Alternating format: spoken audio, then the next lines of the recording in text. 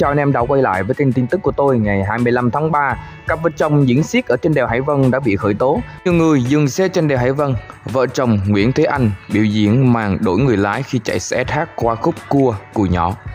Ngày 24 tháng 3, cơ quan quận Liên Chiểu khởi tố vụ án khởi tố bị can Nguyễn Thế Anh, 35 tuổi, vợ là Nguyễn Thị Kim Ngân, 24 tuổi, cùng trú tại huyện Phú Lộc, Thừa Thiên Huế, tội gây rối trật tự công cộng.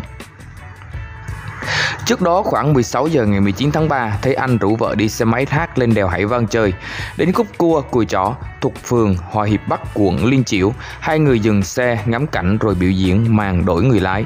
Hai người không đội mũ bảo hiểm, chạy xe xuống phía nam đèo Hải Vân rồi quay đầu xe, điều khiển đi lên lại dốc. Theo hướng từ Đà Nẵng ra Huế, khi đến khúc cua Cùi Chỏ, Thế Anh hướng dẫn vợ lùi người về phía sau, yên xe để mình trồm người qua lái bên trái phía trước, cầm hai tay lái.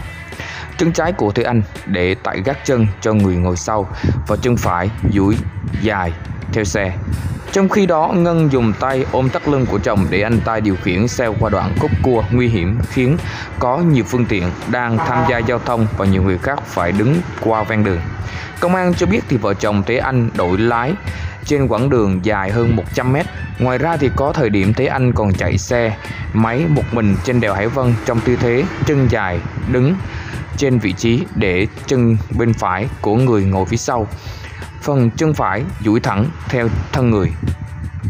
Sau khi từ đèo Hải Vân về nhà tại thôn Thủy Tụ, xã Lộc Tiến, huyện Phú Lộc, đến 22 giờ cùng ngày thì Thế Anh và Ngân tham gia vào vụ đánh nhau gây thương tích tại xã Lộc Vĩnh. Hành vi diễn xiết của vợ chồng Thế Anh bị một số người quay clip chia sẻ lên mạng xã hội. Từ biển số xe, lực lượng chức năng đã điều tra và triệu tập cả hai tại cơ quan công an. Thế Anh và Ngân khai thấy người dân tập trung đông tại khúc cua nên trình diễn đổ lái để được nhiều người hô hào và cổ vũ. Anh đang bị công an huyện Phú Lộc tạm giữ hình sự để điều tra liên quan tới vụ cố ý gây thương tích và Ngân bị công an quận Liên Chiểu khỏi nơi cư trú và tạm hoãn xuất cảnh do đang điều tra thương tích vùng đầu từ vụ đánh nhau trên. Đèo Hải Vân dài 20 km nối Đà Nẵng và Thừa Thiên Huế. Dù đã có hầm Hải Vân nhưng nhiều người vẫn chọn cách chinh phục đường đèo bằng xe máy. Đèo Cô Ba, khúc cua, cùi chỏ nguy hiểm. Trong đó, khúc cua của địa phận Đà Nẵng có view nhìn về thành phố. Rất nhiều người dừng chân ngắm cảnh. Đó là thông tin ngày 25 tháng 3. Anh em thấy hay đừng quên tôi tôi chia sẻ comment và đừng quên đã đăng ký vào chuông. Tạm biệt.